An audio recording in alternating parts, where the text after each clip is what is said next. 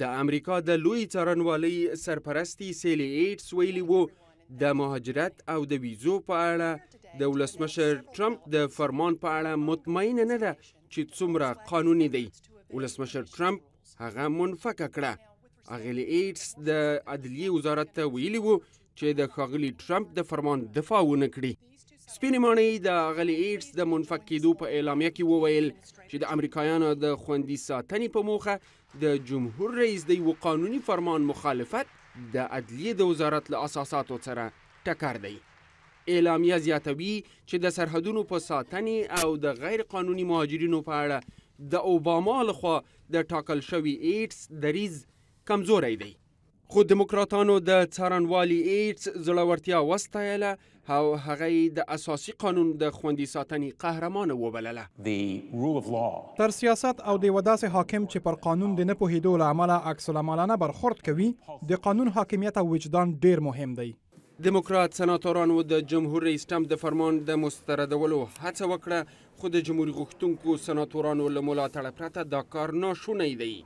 ځکه چې د کانګرس په دواړو خونو کې هغه اکثریت دي او تر ډیره حده د ټرمپ د فرمانونو ملاتړ کوي دیموکراتان د قدرت له ودانیو د باندې هم د مظاهرچیانو سره ولاړ دي او د ستري محکمې مخې ته یې ژمنه وکړه چې د جمهور رئیس د فرمان پر ضد به مبارزه کوي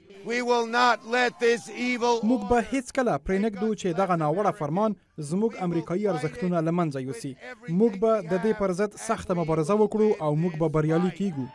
د اوو هیوادونو څخه د خلکو پر راتګ د جمهور رئیس لخوا د بندیز فرمان پراخ غبرګونونه راپارولي دي تر دې حده چې په کانګرس کې د اقلیت ګوند د دیموکراتانو مشره نانسي پیلوسي وایي چې د حل یوازنۍ لارۍ د فرمان بیرته لغوه کول دي.